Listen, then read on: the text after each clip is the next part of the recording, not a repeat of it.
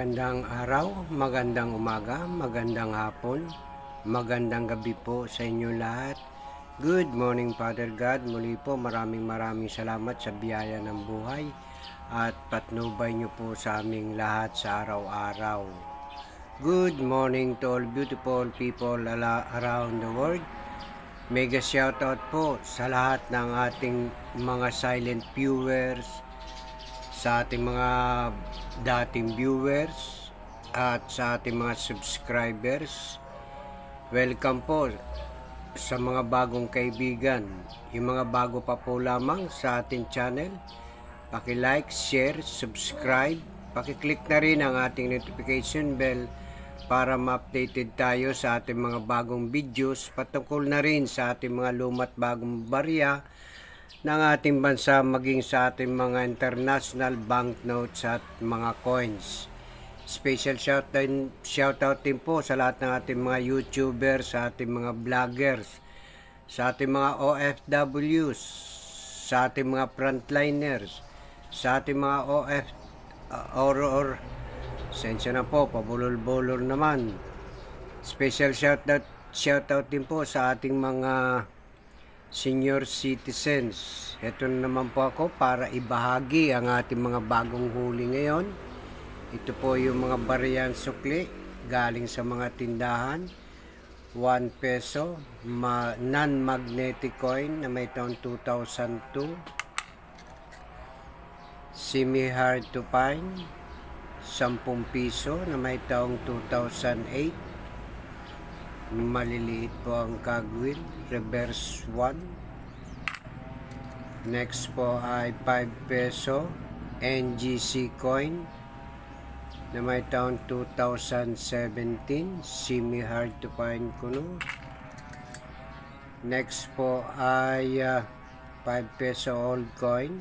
BSP na may taon 2016 Next po ay 5 peso old coin na may taon 2012. Frost coin po ito, reverse. Ayan po. Frosted coin po, naka-champo ng isa. Collectible.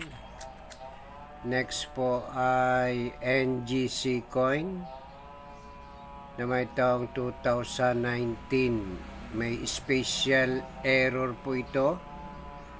Isumpo natin para makita. Ayan po siya.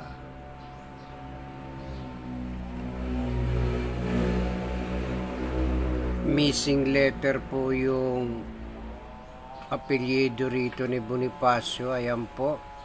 Ang natitira po ay Facio nawawala po yung Boni at natira lamang ay Pasio Andres Pasio. Magandang koleksyon po ito. Missing letter po ayan. Kitang kita naman po Pasio lamang po ang natitira. Collectible na din. Next po ay 1 peso po. Jose Rizal ayan po dito naman po ay zoom natin.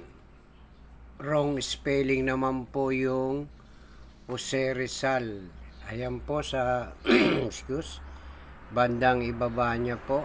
Ayan po yung medyo malabo. Ayan, yung E ay naging C.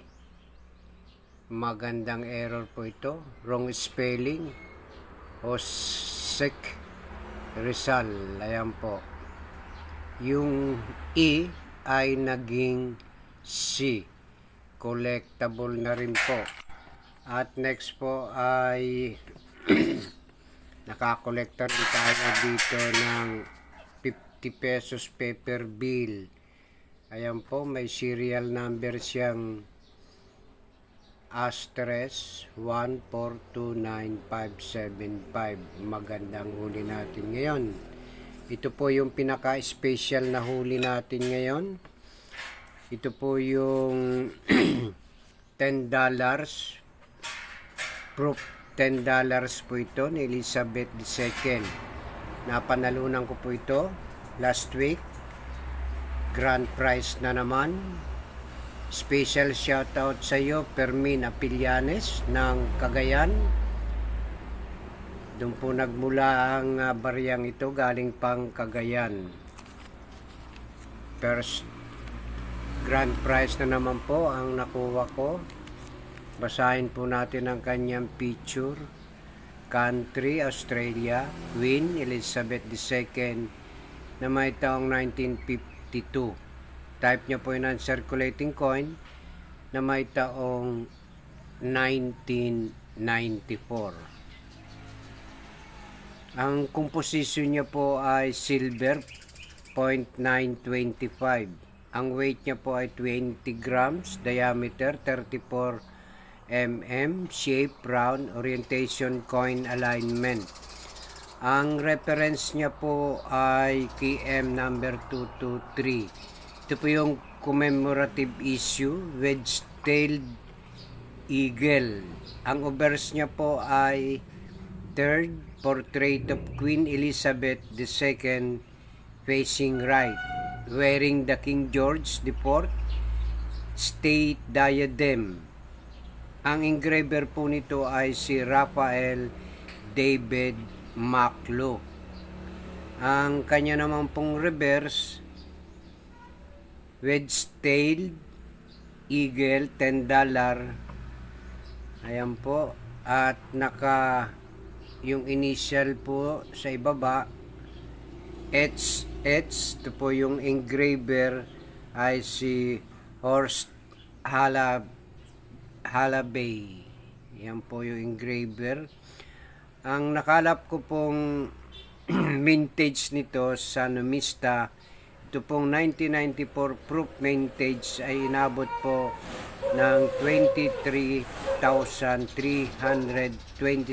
pieces.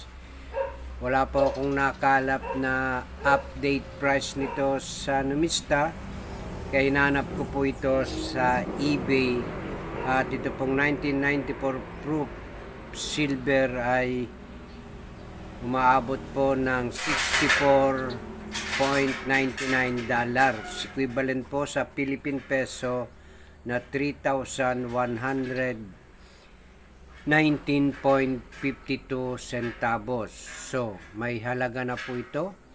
At ito po muli ay uh, napanalunan ko sa raffle draw. Maraming salamat po muli, Bro Fermin Apilianes ng Cagayan. At uh, sana po ay may nakuha na naman tayong munting impormasyon patungkol dito sa ating $10 proof coin Elizabeth II. So yun lamang po. Bukas na po ang ating pangkalatan shoutout. Special shoutout na lang po sa ating lahat kapayapaan po sa bansang Pilipinas, kapayapaan sa buong daigdig. God bless.